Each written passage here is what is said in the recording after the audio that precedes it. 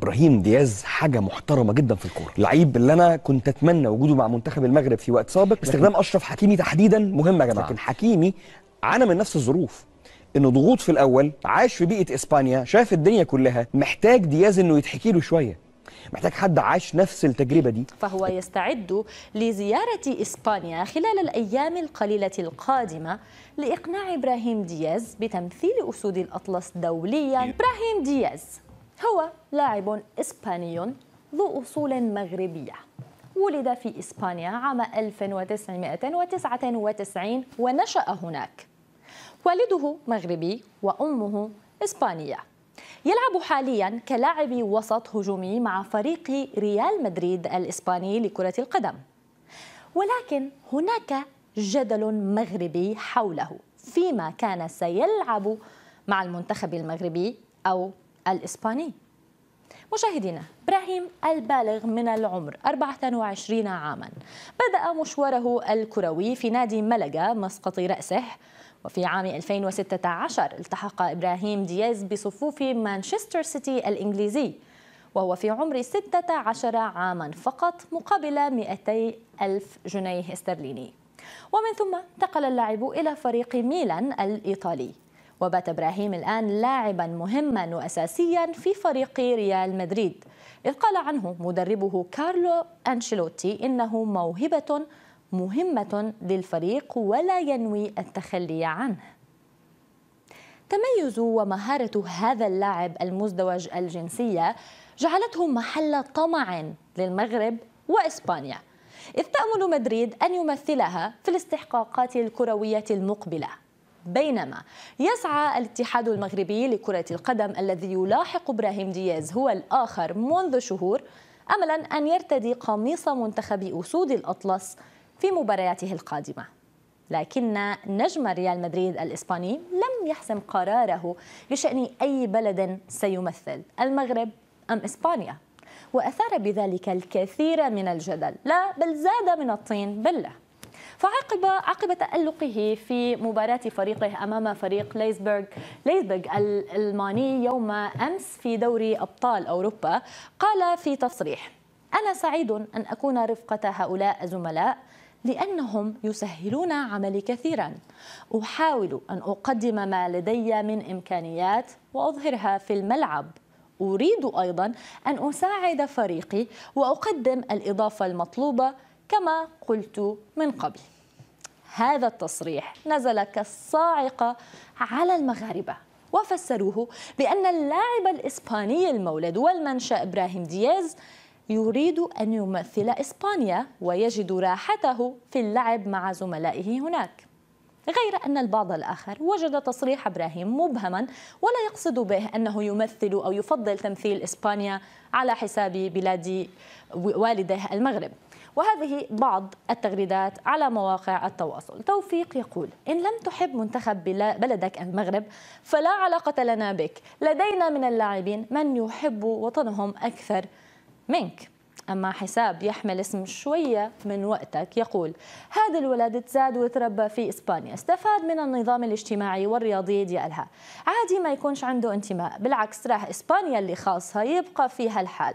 إذا ما اخترهاش أما المغرب راح عادي يجي ولا ما يجيش. أما ضحى فتقول أخيرا المنتخب والراية الوطنية شيء مقدس ولا يستحق حملها سوى من تجري في عروقه دماء حب الوطن وليس كل من هب ودب. ربما مدرب منتخب المغرب وليد الركراكي سيحسم هذا الملف بشكل نهائي فهو يستعد لزيارة إسبانيا خلال الأيام القليلة القادمة لإقناع إبراهيم دياز بتمثيل أسود الأطلس دولياً على حساب إسبانيا. tick tock tick tock أخيرا بترن في الوقت المظبوط بشكل شبه رسمي. ليه شبه رسمي؟ لأنه اللي أعلنها المرة دي مش بيدريرول المذيع الشهير لبرنامج الشرنجيتو ولكن فابريتسيو رومانو. ابتدينا فيلم مبابي بدري جدا ولكن بأخبار شبه حاسمة بإعلان رومانو بأنه خلاص مبابي النهارده. في تمرين باريس سان جيرمان أخبر زملائه في التمرين وفي باريس سان جيرمان بأنه الرحلة قد انتهت. دي تويتة فابريزيو رومانو اللي نقلها على أو عن طريق راديو RMC كمصدر وقال إنه مبابي أخبر زملائه في باريس سان جيرمان بإنه خد القرار بإنه خلاص أنا هسيب الفريق في نهاية هذا الموسم. ومبابي الذي لم يذكر إذا كان رايح ريال مدريد أو رايح أي فريق تاني ما أخبرش الناس هو رايح فين بالظبط. لكن في ريال مدريد وفي باريس سان جيرمان وفي غرف خلع الملابس الجميع يعتقد بأنه قادم إلى ريال مدريد لا محالة. الحقيقة يا جماعة نقف بس قدام حاجتين مهمين جدا في هذا الخبر، أولهم انه مبابي لو بالفعل الأخبار دي مظبوطة وهي غالبا مظبوطة طالما وصلنا ال RMC وطالما فابريزيو رومانو نقلها وهو مش خايف، فده معناه انه مبابي في النهاية لا يصح إلا الصحيح. الراجل ده لم يحترم باريس سان جيرمان بأي شكل من الأشكال. وإذا كان نية الإعلان دي موجودة فكان لازم تستناها لآخر الموسم لانك كابتن الفرقة أو واحد من كباتن الفرقة وأنت عندك فريق بيلعب في دوري أبطال أوروبا فكان لازم احترامه أكتر من كده شوية. وبالتالي لا يصح إلا الصحيح إنه امبارح نصر الخليفي وإدارة باريس لما اتكلمت على الدعم والأخبار نقلت على إنه باريس هيدعم صفوفه في الصيف بثلاث لعيبة مهاجم قوي جناح قوي لاعب في نص الملعب قوي مع تجديد عقد زير امري كان الشواهد كلها بتقول إن هم خلاص وصلوا لليقين إن مبابي مش مكمل. ده رقم واحد. رقم اتنين تعالى بقى صديقي المشاهد عزيزي متابعنا في الوطن العربي نتخيل مع بعض ترسانة الأسلحة وفيلم الرعب اللي إحنا هنشوفه في تشكيل ريال مدريد السنة الجاية. شواميني في نص الملعب قدامه اتنين يمينه بيلينغهام وشماله كامافينجا وكل واحد بيلعب على حسب عدلته. وكارلو أنشيلوتي بيسأل الناس قبل ما تلعب الأول زي ما عمل مع كارفخال ومع شواميني وهم قلوب دفاع. قدام في خط الهجوم فينيسيوس جونيور ناحية الشمال رودريجو ناحية اليمين وكيليان إمبابي بيقود المسيرة في خط الهجوم. على أن يكون توني كروس لوكا مودريتش واحد زي سيبايوس لو حسبناه في الحسبة فالفيردي كل دول موجودين عندك كحلول موجودة في نص الملعب. إبراهيم دياز شخصيا اللي إحنا جايين له بعد شوية موجود كبديل كجناح. خوسيو موجود كمهاجم هيتم الاعتماد عليه في أوقات قليلة جدا. وقد كمان يكون هنا هناك اندرك علشان يكون ريال مدريد فنش تقريبا كل ما يحتاجه على الأقل في الوقت الحالي فيما يتعلق بنص الملعب. وبالهجوم ويتحول لواحده من أقوى السكوادز الموجودة على مستوى العالم مستنيين بقى خط الدفاع واللي يجرى فيه. بيريز حول كل حاجة من كورونا كل الدنيا بتقع لأن أنا محافظ إن أنا بكسب إن أنا بعمل ملعب بجدد ملعب بكسب فلوس باخد Champions League بجيب امبابي ببلاش فلورنتينو بيريز واحد فقط ولا يجوز الزمان الحقيقة برجل أكثر خبثا من فلورنتينو بيريز فيما يتعلق بهذه المسألة. في العموم ريال مدريد والفوز على لايبزيج الذي كان ملفتا والذي كان حاضرا بأقدام ذهبية لإبراهيم دياز. نستمع الأول لتصريحات كارلو أنشيلوتي واللي قاله بعد نهاية مباراة لايبزيج الراجل أصبح منتشي بعروض ريال مدريد في هذه الفترة لأنه فترة صعبة من الموسم. جيرونا قفل اللعبة بأربع أهداف. برشلونة قبلها بشوية. كمان لايبزيج في ال Champions League الراجل عدى بكل المطبات الصعبة بقائمه منقوصة من ثلاث أرباع الأسماء اللي ممكن تبقى متاحة في حراسة المرمى وفي خط الدفاع. وحتى أحيانا كمان في نص الملعب لكن عدى بالفترة الصعبة. نستمع لتصريحات كارلو أنشيلوتي ونرجع نكمل كلام مع حضراتكم. إبراهيم دياز حاجة محترمة جدا في الكورة بصراحة يعني. لعيب اللي أنا كنت أتمنى وجوده مع منتخب المغرب في وقت سابق لكن لسه الأماني ممكنة وفي اعتقادي إنه استخدام أشرف حكيمي تحديدا مهم يا جماعة. كل الاحترام للرجراجي الفوزي لقشة على كل الناس لكن حكيمي عانى من نفس الظروف. انه ضغوط في الأول عاش في بيئة إسبانيا شاف الدنيا كلها ثم وهو بيحكي الكلام ده إنه التأثير العربي الثقافة العربية التأثير اللي كان عندي من عيلتي محتاج دياز إنه يتحكي له شوية. محتاج حد عاش نفس التجربة دي إنه يتكلم معاه وإنه يقول له إيه اللي ممكن تلاقيه في المغرب وما تلاقيهوش في إسبانيا ولا يوجد أفضل من أشرف حكيمي علشان يعمل هذه المهمة. لكن عموما الموضوع ده الرجراجي هيتعب فيه شويتين لكن يبقى الأهم اللي لازم نقف عنده دلوقتي هو تحول هذا الرجل.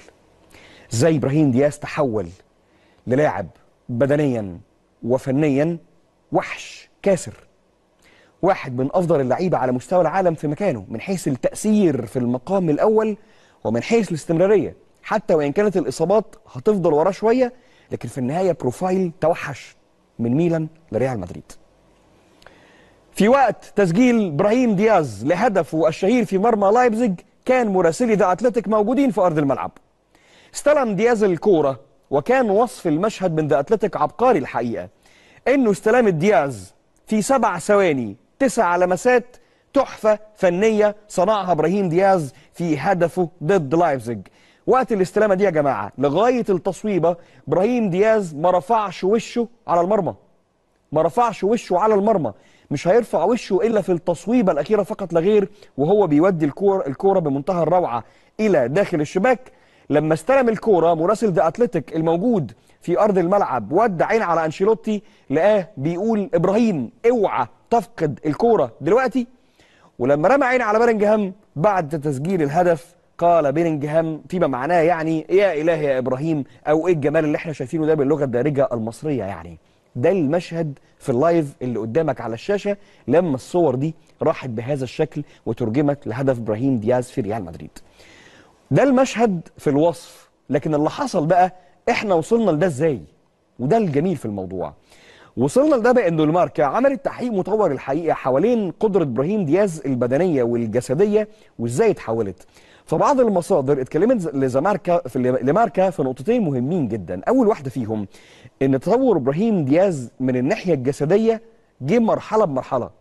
وناس قريبين منه من اللي عاشوا معاه المسيرة في الميلان وفي ريال مدريد اتكلموا للماركا وقالوا إنه التطور اللي جه بشكل مرحلة في الثانية في الثالثه ما اعتمدش على تحول مفاجئ مثلا. إنه فجأة تحول إلى بن- بنية عضلية قوية جدا. مش ده اللي حصل. بل إنه الموضوع جه step by step وتحديدا واحد من أهم الأشخاص اللي اتكلموا لذا في هذا السياق كان بيقول إنه التطور كان بطيء بالنسبة لإبراهيم دياز لكنه أكيد إنه العملية دي كانت مستمرة بالشكل مش ثورة جسدية فقط لا غير. وبيقول إنه كان عارف إنه علشان يستغل قدراته كويس كان لازم إنه يتقدم جسديا اشتغل على على العمل الشخصي بمساعدة متخصصين من غير ما يكون مهووس بفكرة الجيم لأنه بيعتني بنفسه بشكل جيد جدا وبيعمل على نظامه الغذائي ونظام الراحة اللي موجود عنده. فازاي إن الراجل استغل المعسكر الصيفي علشان يجهز نفسه وإنه ما اعترفش بإنه أنا رايح صالة الجيم عشان أبني كتلة عضلية بشكل مفاجئ؟ أنا خدت الموضوع مرحلة بمرحلة وحافظت على إنه حافظت على إنه النسق بتاعي يكون ثابت في التحول. دي واحدة. الثانية ذكاء كارلو أنشيلوتي في التعامل مع إبراهيم دياز إن هو دخله واحدة بواحدة للفريق. ونقطة هنا مهمة جدا إنه قبل مباراة لايبزيج روز المدير الفني لايبزيج كان بيتكلم وبيقول إنه أنا مش عارف لغاية اللحظة الأخيرة هل بيلينجهام هيلعب أو لأ. وهنفضل لحد آخر لحظة مخمنين إنه بيلينجهام ممكن يلعب. وبالمناسبة كارلو أنشيلوتي كان شديد الخبث في الرد على تصريحات روز في المؤتمر الصحفي. لأن الراجل لما اتكلم في ده في الأول حب كارلو أنشيلوتي إنه ياخد الموضوع ويرد عليه بالناحية اللي تريح روز. طبعا بص مع بعض على التصريحات. الراجل كان بيقول إنه أنا مش مصدق إن بيلينجهام هيغيب لغاية ما نشوف الملعب هيبقى عامل إزاي. فأنشيلوتي قال إنه لايبزيج قوي جدا في الكرات الهوائية وإبراهيم دياز بطبيعة الحال مش لعيب عملاق. فالمسألة هنا فيها هات وخد ولكن في النهاية قرر أنشيلوتي إنه يخادع ويشرك إبراهيم دياز الذي بدا في أفضل وأجمل نسخة ممكنة. دياز بعد المباراة. في اللقاء الصحفي لما سئل على موضوع المغرب فقال إنه أنا مكمل لحد آخر الموسم مش عارف إيه اللي هيحصل أنا مركز مع ريال مدريد ونشوف الإجابة العايمة اللي إحنا متعودين عليها. الراجل ده في الصيف عنده يورو لو لعب لإسبانيا. والمغرب يجب أن تكون أن تكون شديدة الحسم. عشان كده بقول أشرف حكيمي. السلاح الأول. رجراجي فوزي لقجع كل المؤثرين تمام لكن حكيمي عاش القصة دي. إنه إزاي تكون بادئ في إسبانيا عايش في إسبانيا عايش الأجواء متأقلم. ودي الكلمة الأخطر في الكورة التأقلم في مكان وتقرر طبقا لبعض الخلفيات الثقافية الإقناع. زاوية العاطفة أحيانا تسيطر عليك إن أنت تقول لا أنا مقتنع إن المكان ده هيديني أحسن من في إسبانيا.